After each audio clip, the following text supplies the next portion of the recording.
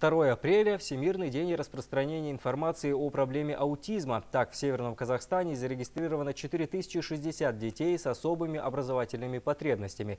400 из них – аутисты. Им необходима всесторонняя помощь для, для благоприятной жизни в социуме. Какая поддержка реализуется особенным детям в нашем регионе, вы узнаете в следующем материале.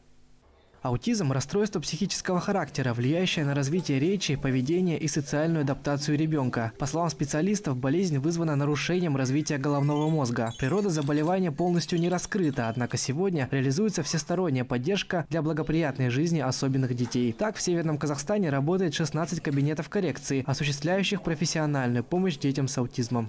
В области функционирует пять кабинетов поддержки инклюзии, в том числе два которые открыты на территории города Петропавловска при поддержке благотворительного фонда «Дара» и три при поддержке благотворительного фонда «Болошак». Буквально на днях а, на базе средней школы номер 27 у нас в городе Петропавловске еще открывается один а, кабинет поддержки инклюзии, куда также могут, который также могут посещать дети с а, диагнозом аутизм. Во дворце школьников Digital Урпак функционирует досуговый центр Жюрек Жилуа. Здесь особенные дети могут в непринужденной обстановке улучшить свои коммуникативные навыки. Стоит сказать, что родители также вовлечены в образовательный процесс. Они в игровой форме вместе с детьми проводят арт-терапию, рисуют, делают аппликации и даже готовят. Занимаются как в группе, так и индивидуально. Сегодня здесь обучается 10 детей с аутизмом в возрасте от 5 до 8 лет. Он открылся у нас в конце декабря 2020 года. Плодотворно мы уже начали работать с января месяца. А, раз в неделю проходит занятия с психологом. Работа исключительно групповая. Дети работают то есть мы придерживаемся методики, за основу взяли методику Time. А, это терапия, которая основана на игре.